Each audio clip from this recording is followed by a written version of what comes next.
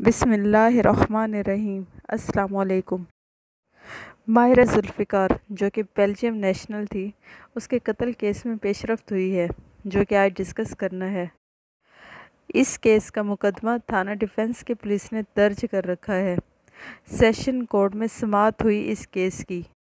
उस समात का अहवाल डिस्कस करना है और साथ में मायरा जुल्फ़िकार के वालिद के बारे में बताना है कि वो क्या सोच रहे हैं इस केस के बारे में और क्या लाएमल इख्तियार कर रहे हैं। अगर आपको लगता है कि मेरा चैनल सब्सक्राइब करना चाहिए तो कर दें और साथ में बेल आइकन के बटन को भी दबा दें ताकि मेरी वीडियोज़ आप तक पहुँचती रहें। मायरा जुल्फ़िकार बेल्जियम नेशनल थी। और वो इंग्लैंड में रहती थी और पाकिस्तान में वो जज बनकर पाकिस्तान के लोगों को सर्व करना चाहती थी।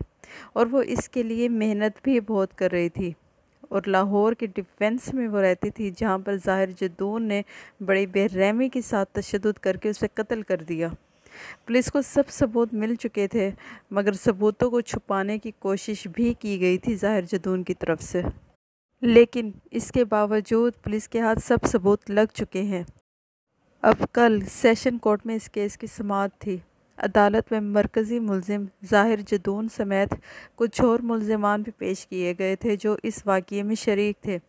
प्रोसिक्यूशन ने केस का चलान अदालत में ऑलरेडी जमा करवा रखा था। अदालत ने कल उस चलान की कापियाँ मुलजमान को दे दी और अब अदालत ने ताहिर जदून समेत देगर गिरफ़्तार मुलजमान पर फ़र्द जुर्म की कार्रवाई के लिए समात सात सितंबर को तलब कर ली है, जिसके बाद उम्मीद की जाती है कि तीन महीने के अंदर अंदर अदालत मुलजमान को सज़ा सुना देगी। अब मायरा जुल्फ़िकार केस के लिए इंग्लैंड की एम्बेसी और बेल्जियम की एम्बेसी से भी प्रेशर था और पूरी दुनिया में एहतजाज भी हुआ है। और अब उम्मीद है कि ज़ाहिर जदून और उसके भाई ताहिर जदून को फांसी की सज़ा मिलेगी। केस का दूसरा अहम मुलजिम ज़ीशान जदून, जो कि ज़ाहिर जदून का कज़न है, वो ताहाल फ़रार है। अभी तक पुलिस उसको गिरफ़्तार नहीं कर सकी है। ज़ीशान जदून को अदालत ने उसकी अदम मौजूदगी की वजह से इश्तिहारी करार दे दिया है। ज़ीशान जदून को पकड़ने के लिए पुलिस ने बहुत जगहों पर छापे भी मारे हैं, मगर अभी तक वो पुलिस की पकड़ में आ नहीं सका। आप सबको पता होगा कि तीन मई को मायरा जुल्फ़िकार को बहुत ही बेरहमी से कत्ल किया गया था। उसके वालिद का कहना है कि जब हमें पता चला कि मायरा को कत्ल कर दिया गया है तो मैं बहुत परेशान हुआ। मैंने अपना कारोबार बंद किया और तुर्की के रास्ते लाहौर पहुँचा और अपनी बेटी की लाश को अपने हाथों से दफनाया। मैं आपको बताऊँ, एक बहुत ही दर्दनाक और अजियतनाक लम्हा होता है एक बाप के लिए, जब वो अपनी औलाद को अपने हाथों से कब्र में उतारता है। वो कहते हैं कि जिस रात वो कत्ल हुई, उस रात मेरी मायरा से बात हुई थी और उसने कहा था, मैं सारे रोज़े रख रही हूँ और मैं बस कुछ दिनों तक वापस भी आ रही हूँ। मेरा अब यहाँ दिल नहीं लगता, मैंने यहाँ नहीं रहना।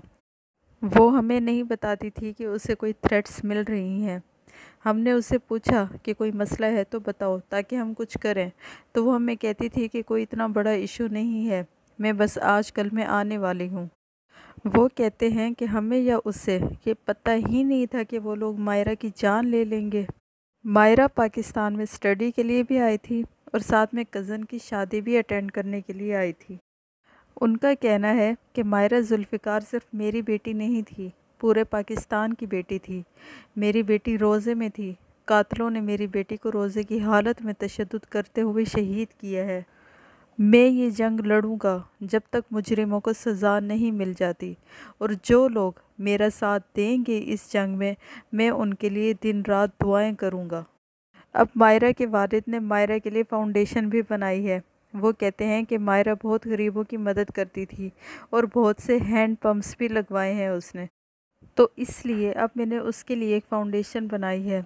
और उसके लिए एक मदरसा भी बनाया है, जिसमें हाफिज़ कुरान रखे हैं, जो बच्चों को पढ़ाते हैं। और इसके अलावा ट्यूशन सेंटर भी बनाया है, जहाँ बच्चों को फ्री तालीम दी जाती है। और एक क्लिनिक भी बना रहे हैं, मेडिकल फैसिलिटी के लिए, जिसमें डॉक्टर फ्री इलाज करेंगे। वो कहते हैं कि मैंने अपने सुकून और अपनी बच्ची के सवाब के लिए ये फाउंडेशन बनाई है। और वो कहते हैं कि मैं दुआ गो हूँ कि मेरी बच्ची के साथ जिस तरह से हुआ, वो आइंदा किसी और की बच्ची के साथ ना हो। इस सिलसिले में मैं एक फ़ाउंडेशन बना रहा हूँ, ताकि अगर किसी के साथ कोई मसला हो या किसी के साथ पुलिस कोऑपरेट नहीं कर रही तो मैं उसका साथ दे सकूँ। और मैं साथ दूँगा, और मेरे साथ बहुत से लोग रबते में भी हैं, और मैं उन सब की मदद करूँगा, ताकि जो कुछ मेरी बेटी के साथ हुआ, वो किसी और की बेटी के साथ ना हो।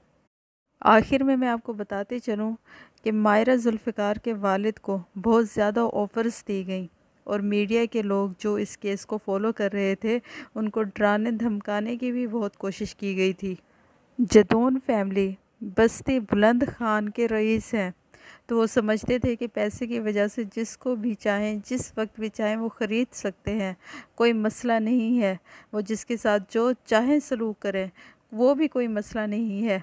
मगर ऐसा नहीं है। इन मुजरिम को उसकी सज़ा ज़रूर मिलेगी। और सज़ा मिलनी भी चाहिए और इबरतनाक सज़ा मिलनी चाहिए, क्योंकि इन जैसे केसेस की वजह से लोग स्पेशली औरतें बहुत डर गई हैं। औरतें अकेले बाहर जाने से डरने लगी हैं। इसलिए इनको इबरतनाक सज़ाएँ मिलनी चाहिए, ताकि हमारे मुल्क में हमारी माएँ, बहनें और बेटियाँ ख़ुद को आज़ाद महसूस करें। उम्मीद करती हूँ कि आपको मेरी वीडियो अच्छी लगी होगी। नेक्स्ट वीडियो तक के लिए अल्लाह हाफिज़।